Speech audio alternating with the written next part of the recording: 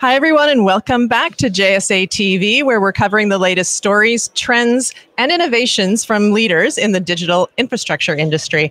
I'm Barb Mitchell, and I'm joined by John Shingler, who's the EVP of Operations for T5 Data Centers. John, thanks for joining us. Thank you for having me. And so we, here we are. It's day one of DCD London. I know you've been in town for a little while now, but first day at the show. Yep. I, I, spent uh, the last week in France and then Dublin, oh. and now got here last night. Oh, that sounds horrible. Yeah. that's that's that's nice. Yeah, that's um. So you're nicely acclimatized to yes. the time zone and everything. And uh, so, what are you most looking forward to for the show this week? I'm looking forward to hearing people speak and just meeting friends.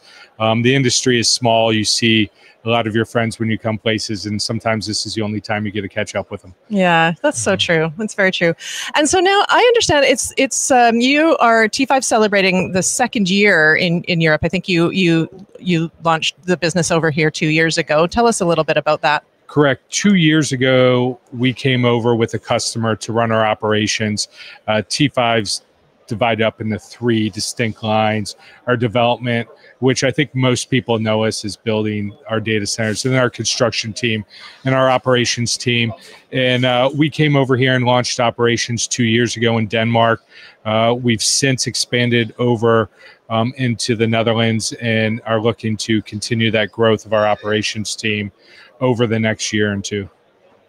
So yeah, tell me more about that. So you you had an opportunity to come here, and now you like it, you're staying as a, as a business, you've decided there's more opportunity here. So what, what does the future hold? I, I think in the next year, in 2025, you will see us continue to expand into Germany. Um, we are looking for other opportunities in the countries we're already in. If we can grow in Amsterdam, if we can grow in different places in Denmark, and then our goal is to get over um, to England at, at some point. Amazing. And and while all that's happening, you're busy on the home front, right? Talk about, uh, tell us a little bit about the growth happening back in the United States. Correct. Uh, you might have seen in the last probably three months, we've announced two different um, developments we're undertaking. We have our development in Chicago, outside of Chicago, and then we have just announced about two weeks ago the development south of Atlanta. So both of those are large scale campuses uh, greater than 300 megawatt campuses that we are starting to build. And, and I know one of the things that's important to you and your team is is just f- sort of f- helping to steward in the new generation of folks that are going to help to support all the growth and demand and innovation that our industry is has in store. Uh, do you have advice? What, what's your advice for that future generation? I'd say w- two pieces of advice is be flexible. Um, when I first came into the industry, the phrase everyone said, "Oh, it's going to slow down soon." And after a decade, I have not seen it slow down. It's always changing. And then the other part is to go with that is learn as much as you can.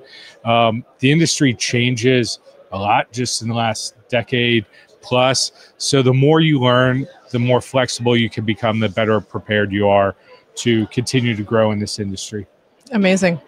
And so, for any of those folks interested in getting into the industry, I know that they could probably reach out. There's always opportunities for people to chat uh, uh, to, to folks at T5, right? Yeah. Yeah. I am I'm, I'm the person who, if anyone ever wants to come out and see me, stop me, talk, um, probably my downfall is I will just talk yeah. for long periods of time. Well, that's, yeah.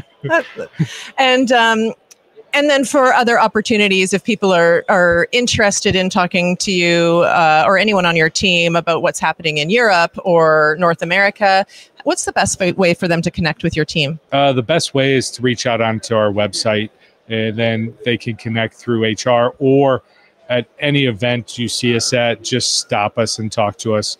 Um, everyone at T5 is really friendly um, from the top down, so you can stop any of us and just have a conversation. Amazing. And so, what's in store for you for the rest of the show?